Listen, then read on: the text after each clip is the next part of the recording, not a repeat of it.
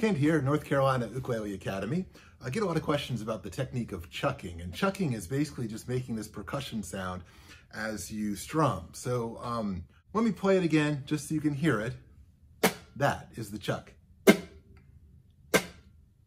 And pretty much what I'm doing, you want to keep your hand really, really loose, and you're strumming with your nails, and then at the same time stopping with your palm right after. What you don't want is a strum and then a stop. You want it in one motion. So it's strum and then your palm stops it. It shouldn't, you shouldn't hear a difference between any chord. So if I'm actually holding a chord, you won't hear the difference when, if I just did the chuck. You don't hear the chord note, the chord sound at all. What you end up hearing is just that chuck sound.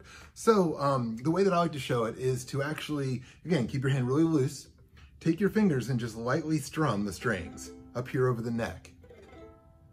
And then as your fingers come off the neck and fall off the, the edge, let your palm just come down and land and stop the strings. So very softly, strum the strings, let your palm land.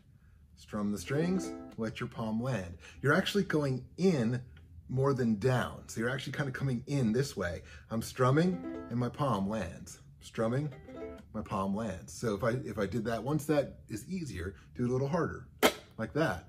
Um, again, strum, stop. You don't want to strum and then stop in two motions, just one, one motion.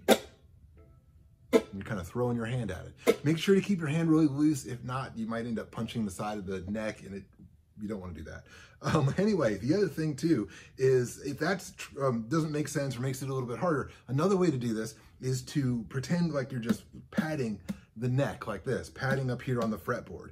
But before you do that, kind of sneak your fingers out, but you got to keep your hand really loose sneak your fingers out, kind of like you're patting, but your fingers come out before you do it. So you're coming down like you're patting with your fingers in, sneak your fingers out before you do.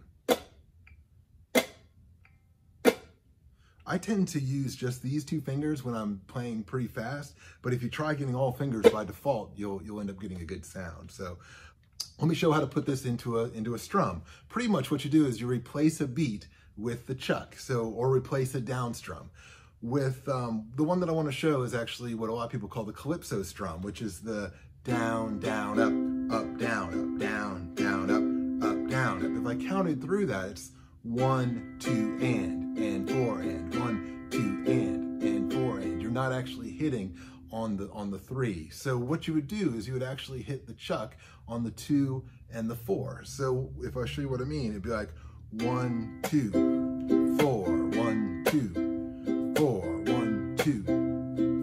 let me slow this down. Basically, it's gonna be super slow. One is a down strum. The two is gonna be a chuck. Then I'm gonna come up, and then I'm gonna come do the chuck again, and then up again. So down, I'm gonna do the chuck, I'm gonna come up, and then I'm gonna do the chuck, come up again, do the chuck, and then come up again down, chuck,